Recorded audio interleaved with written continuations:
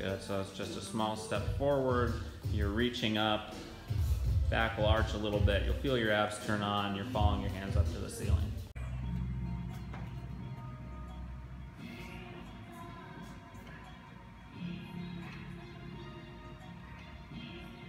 Good.